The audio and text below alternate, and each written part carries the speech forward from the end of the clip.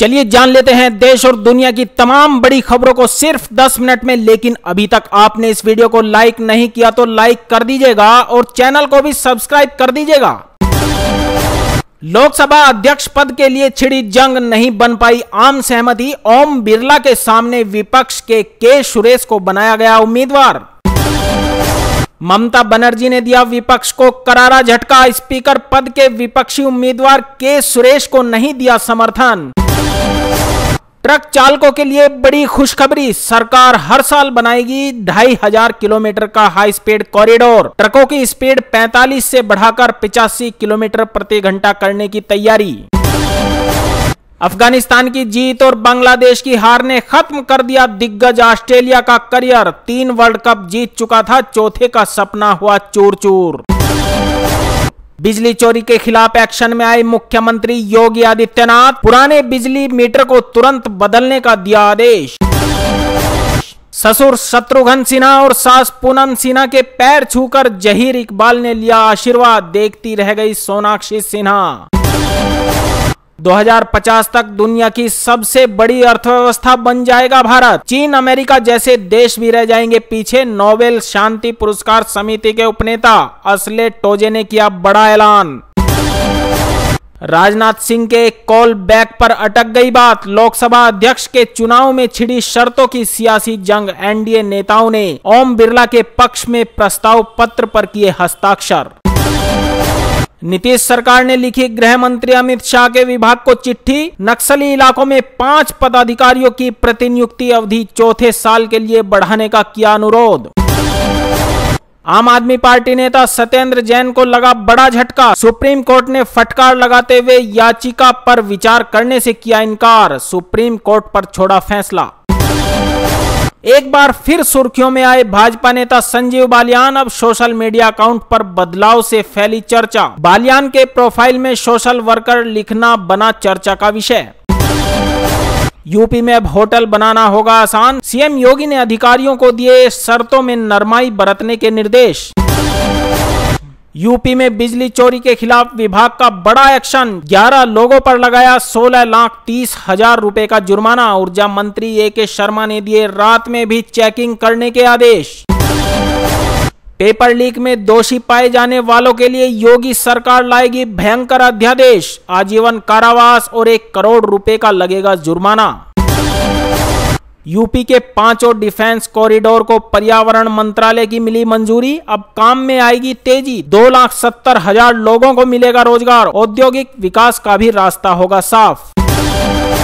संघर्षों में बीती नक्सली हमले में बलिदान होने वाले शैलेंद्र कुमार की ज़िंदगी। पैदल जाते थे चार किलोमीटर दूर पढ़ने। छुट्टियों में करते थे मजदूरी। सोमवार को पूरा दिन परिजन करते रहे शव का इंतज़ार।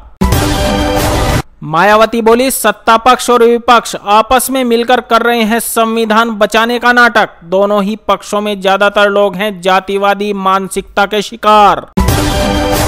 आपातकाल के 50 साल पूरे होने पर कांग्रेस पर बरसे मुख्यमंत्री योगी आदित्यनाथ। बोले, लोकतंत्र को पूरी तरह से समाप्त करने की रची गई थी साजिश। देश की जनता कभी नहीं करेगी माफ़। वाराणसी में 9 साल का कैंसर पीड़ित बच्चा एक दिन के लिए बना एडीजी जॉन अधिकारियों की मौजूदगी में बढ़ाया गया उत्साह। शादी जहीर इकबाल और सोनाक्षी सिन्हा की बवाल यूपी के कुशीनगर में आज़ाद आलम की पोस्ट से बिगड़ गया माहौल। सोनाक्षी के शोहर को बताया था अंध भक्तों का जीजा। एफआईआर के बाद पुलिस ने पकड़ा। जिन्होंने इमरजेंसी लगाई में संविधान के लिए नए दिखाए प्यार, कांग्रेस को पीएम मोदी ने दिखाया आईना, आपातकाल की पचासवीं बरसी पर देश मना रहा ब्लैक डे। इधर केरल का नाम बदलने की तैयारी में वामपंथी, उधर मुस्लिम संगठनों को चाहिए अलग राज्य। मालवा स्टेट की डिमांड को बीजेपी ने बताया राष्ट्र की अखंडता से समझौता। ब्रिटानिया के लिए बंगाल की फैक्ट्री बनी बोझ, बंद करने का लिया फैसला। नैनो प्लांट पर विवाद के बाद टाटा ने भी छोड़ा था राज्य। बीजेपी बोली, ये तोलबाजी का नतीजा। हरदीप सिंह निज्जर ने किया था पाकिस्तान का दौरा, चलाता था आतंकी कैंप, जिस कनाडा ने उसकी हत्या पर संसद में रखा था मौन। वहीं की मीडिया ने खोल दी पोल। भारत और बांग्लादेश के बीच तीस्ता जल समझौते पर तमतमा उठी ममता बनर्जी। बोली इस समझौते से होंगे उत्तर बंगाल के लाखों लोग गंभीर रूप से प्रभावित। रेलवे यात्रियों के लिए बड़ा अपडेट। चार साल बाद बहाल होंगी सीनियर सिटीजन को किराए में मिलने वाली छूट। यूपी के प्रयागराज ज़िले में वाटरफॉल में नहाते समय युवक के नाक में घुस गई जोंक। चौदह दिनों बाद डॉक्टरों ने ऑपरेशन करके निकाला बाहर।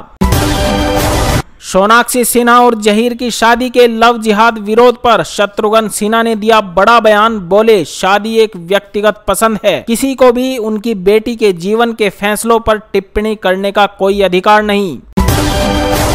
तेजस्वी यादव ने बढ़ते अपराध को लेकर पीएम मोदी को घेरा। बोले, बिहार में दिन दोगुनी, रात चौगुनी वृद्धि कर रहा है अपराध। बीजेपी का आम आदमी पार्टी पर हमला, शराब घोटाले के सबूत उड़ा देंगे केजरीवाल की नींद, जनता के बीच जाने लायक नहीं बचेंगे। गौरव भाटिया ने बताया अरविंद केजरीवाल को कट्टर बेईमान। इंटरनेशनल फर्जी वीज़ा रैकेट का पर्दाफाश अलग अलग देशों के 2000 से ज़्यादा ब्लैक वीज़ा हुए बरामद। मशहूर एक्ट्रेस मिष्टी शर्मा ने भाई से कर ली शादी, दोनों अब डल्टी वेबसाइट वीडियो बनाकर कमा रहे हैं मोटे पैसे। भारत की कनाडा को दो टूक उच्चायुक्त ने कहा, खालिस्तानी आतंकवाद का महिमा मंडन करने के कृत्य है निंदनीय, भारत नहीं करेगा कभी भी स्वीकार। मुकेश अंबानी की पत्नी नीता अंबानी पहुँची काशी, बाबा विश्वनाथ को देंगे बेटे अनंत अंबानी और होने वाली बहू राधिका की शादी का निमंत्रण। उत्तर प्रदेश के एटा में डेंगू को लेकर स्वास्थ्य विभाग हुआ सतर्क। बुखार पीड़ितों की होगी रैंडम सैंपलिंग गाँव गाँव में लग रहे हैं शिविर। जम्मू एंड कश्मीर में आतंकियों की मदद करने वालों की खैर नहीं एनिमी एजेंट एक्ट लगाने की तैयारी कर रही है पुलिस। ओडिशा प्रदेश में कांग्रेस कमेटी ने अध्यक्ष शरद पटनायक पर स्याही फेंकने के मामले में पाँच सदस्यों को किया निष्कासित।